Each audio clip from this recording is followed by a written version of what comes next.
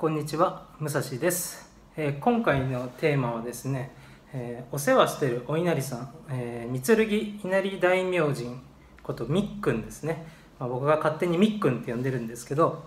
高茶屋小森のお稲荷さんで、まあ、地元では通ってますが、まあ、そのお世話してるお稲荷さんの、えーっと小屋がありましてその中にあのお社が入ってるんですね、まあ、ちょっとあの写真出せたらあと出しますね。えっとでその小屋のこのなんていうんですかねこの斜めになってるところのこの下にこう彫刻みたいなこう彫り物でこう飾りがあるんですけどその飾りの裏側のとこに、えっと、足長鉢の巣みたいのができてるのをこの前確認してで最近お供えができてなかったんですね。あのそこに行くと足長鉢がこう23匹見回りしてるやつらがいてでそのこう三角形になってるその彫刻の後ろ、まあ、軒下っていうんですかね。裏側に蜂の巣らしきものがいてなんかうごめいててでなんか全部襲っては来ないんですけどまあ、その23匹が常に見回りしててで少なくなると1匹とかしかこう出てきたりしてこないんですけどそれでもこうお供えしに行ったり掃除しに行くと、まあ、必ず1匹がこうやっぱ見てきて襲ってきはしないんですけど、まあ、僕網持ってって何回か捕まえて3匹ぐらいはあの、まあ、ちょっとね捕ましてあの抹消というか抹殺したんですけどうんまあそれでもやっぱりまだまだいたんでなかなかお供えができなくてもやっぱ水が帰れないと榊とかも枯れてっちゃうんでちょっと困ったなと思って。で掃除もなんかちゃんとできなくなってくるとこうちょっとあの境内がこうねちょっと汚れてくるんでちょっと嫌だなと思って。で今朝えっと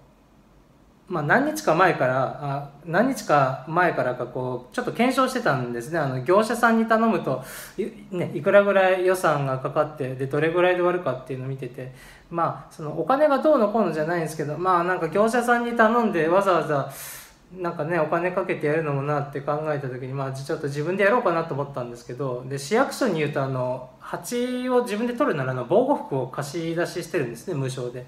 それもいいなと思ったんですけど今日土曜日で市役所がやってなくてでもしょうがないんでもう決断して普段僕靴一切履かないんですけど今日はもう靴あの持参して持ってって、まあ、下駄から履き替えてで長ズボンで長袖で帽子かぶって首にタオル巻いてゴム手袋一応して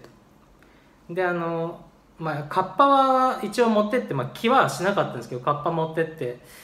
で最初まずえっと三剣稲荷大明神さんのとこにこう着いたんでまあいつも通り見に行ってで鳥居くぐってこの小屋のとこのこの斜めの下の彫刻ですねこの裏側にいるんでこう下からこう覗き込むとちょうど見えるんですけどまあやっぱり蜂が動いてたんであ今日もいるなと思ってでどうしようかなと思って左手に虫取りの網持って、えー、とで来たらそれで捕まえてまあ潰して倒してやろうと思って。で右手にうちわですね。もし捕まえ損ねて目の前に来た時うちわで叩き落としてやろうと思ったんで。でもう一方、えっと今日手にこれ最初1本買ってきたんですけど大体これがちょうどホームセンターで1000円ぐらいですね。あの100円引きで安くなってたんですけどこれで1000円ぐらいで。これは最初に使ったやつなんですけどかなり強かったですね。えっと12メートルぐらい届くらしいんですけどまあ34メートルぐらいは余裕で噴射で届くんで。えーで蚊取り線香今日は4つぐらい炊いてかまず顔を粉くしといて。で完全装備して蜂が襲ってきた時のことも頭にシミュレーションしといて、まあ、来たら網で捕ますかもううちわで叩き落とすかっていうもうちゃんとシミュレーションして。でいざ風が止んだ時に、えー、とこの小屋があって正面からかけるとお稲荷さんの方入っていっちゃうんで、えー、とこの小屋があってその下のこの横ですね。横からこう回り込んでどっちかっていうと小屋の外に向けてかけるような感じでこうやって噴射させたんですね。この。でこれでブワーってやった瞬間になんとですね僕予想では56匹か多くてもまあ10匹かなと思ったらなんとですねかけた瞬間ブワーって50匹以上出てきてめちゃくちゃいてやばいと思って。で一気にこう全部かけまくってかけまくって、まあ、僕はその場から一歩も動かずしゃがんだまんま全部かけて、まあ、多分これでほぼ全部死んだんですね。でなんかこれ多分ね60秒も出ないかな50秒かそんぐらいもう出し続けたらなくなっちゃってやべえ足りねえと思って。まあ終わっちゃって。まあなんとか全部落ちたんですけどその一気に50匹ぐらいブワーってこう散開してった時にあのなんていうんですかね。あこれが全部もし自分のところに来たら僕多分一気に刺されたらこれ人間ってアナフィキラシーショックでしたっけ？あのスズメバチじゃないですけどアシナガバチでもでもあんだけの数に多分刺されたら死ぬんじゃないかなと思って即死というかね50匹以上本当にいたんでふわってすごいなんならちょっと綺麗でしたもんねこう。すごいあの広がってってで人間ってやばいって思うと脳のリミッターがあの解除されて外れるんですよ。その蜂が一気にブワって出た時にあの全部が止まって見えたんですよ。スローモーションになって。で自分だけが動ける状態で蜂とかの動きが止まってたんですよその時。なんでどこにかけていいかってすごい冷静に頭がこう働いたんで蜂が逃げようとしてるとこ全部こう追ってって全部隠れて。でなんか多分一匹ものほぼ逃すことなく全部これで倒せたんですけど人間の脳ってすごいなと思ってやばいと思った時にパニックになるんじゃなくて脳のリミッターがパチッと外れて全部の動きが止まって見えたんですよね。あのよく映画とかであのなんていうんですかねあの海外の映画とかでこうなんか結構戦う系のヒーローが戦う系でこうねこう技と技の出し合いとかする時って一瞬こうスローモーションになったりするじゃないですか。それこそあのマトリックスとかじゃないですけどなんか技とかやばい状況になると物がこうスローモーションになってこうでなんかかわしたり球避けたりとかっていうまさにああいう感じで物が見えて蜂が飛んでったはずなのになんか全部の蜂が止まってたんですよね。なんでか知らないけど。なんで空間が止まったのか全く僕には理解できなかったんですけどまあなんか止まってくれたんで全部もうバーってかけていったらで全部落ちてってよろよろよろって全部落ちてってまあ、このスプレーがものすごいあの優秀だったっていうのもあるんですけど、まあ、でもこれ全部使い終わっちゃって足りなくって、まあ、一応全部殺せたとは思うんですよそれで。で一応全部ほうきで集めて蜂の数なんとなく数えてやっぱまあ50から60ぐらいいたんじゃないかなと。でもう自分では最初 5, 5匹か10匹ぐらいであとはこう巣がちょっとあるかなって思ってたぐらいだったんで全然予想が外れてめちゃくちゃいました。で結論はなんかそこに巣がなんかなかったんですよね。その屋根の中にあるのかなと思ったんですけどでも止まってただけだったんですよね。なんでかそこに巣がなくて。で不安だったんでもうこれ2本入りのやつですね。このでかいやつ。これ2本入りで確か3000円ですね。税込みで3000円するんですけどこれ2本入りのやつ買って1本は使いかけであのミックのとこに置いてきたんですけどまあ一応これかけとくとそのいたところにもう巣が4ヶ月ぐらいは作れなくなるらしいんでその4ヶ月予防って書いてあったんでまあ、結構余分に木のとことか屋根のとこにかけて、まあ、なるべくあの生えてる植物とか榊にはかけないようにしてその、まあ、小屋のこの、まあ、拝殿っていうんですかねの外側からあのお社にめがけてじゃなくて、えー、と内側から外に向けてかけたんで、まあ、あのお稲荷さんがある方には多分あの飛んでてないですよねちょっと小屋の中に匂いがしましたけど、まあ、最近のやつはそんなにあのきつい殺虫剤みたいな匂いじゃなかったんでまあ大丈夫かなっていうことで。でそれ朝9時から10時ぐらいにそういうことやっててまあどうでしょうね。まあものの30分か1時間もかからず終わったんですけどまああのスプレーが足りなかったんで、まあ、2往復したんですよね。結局大荷物だったんですけど。で自転車で2往復してで全部終わってで蜂が戻り蜂っていうのがいるとあの攻撃的にさせてくるんでそれがいないかよく確認しててまあいなくなったんで網片手に持ってうちはこっちに持って畑を落とせるように。で小屋の下確認したら蜂がいなくてで巣ってあるのかなと思ったらやっぱり巣がなくて、まあ、巣らしきものを一応こう削って落として落としておいたんですけどまあでも巣はやっぱなかったんで。でまあ、その木のところにスプレー染み込ましておいたんでまあ多分これでも蜂来なくなると思うし戻り蜂っていうやつがまあ多分いないと思うしまあ次あのお供え行った時にもしアシナガバチがまあその戻り蜂っていうのがいるとあの巣がないことで怒って攻撃してくれるらしいんですけど、まあ、スプレー1本置いてあるんで、まあ、網も持ってってまたもしいたらやっつけようかなと思うんですけど。でもう全部落としたやつはあのほうきでちり取りに集めてそれはもう全部あのもうガスバーナーっていうかもうバーナーで全部もう焼きました。で根出足にしたんでもうこれで多分出てこないんじゃないかなっていうことで。まああのちょっとね日にちゃっちゃったんですけどあの今日みっくんに久しぶりに挨拶できて。でまあこういう理由があるんでちょっと蜂がいてあのお供えができないで掃除ができなくて困ってるんでちょっとあの、ね、殺虫剤的なスプレー巻くんでちょっとごめんけどよろしくお願いしますって、まあ、みっくんに挨拶して、まあ、全然あの嫌がることもなく、ね、全然協力的だったんじゃないかなと思ってお稲荷さんも。で今日掃除も全部終わらしてでお供えして、まあ、久しぶりに祝詞唱えてお酒もあげて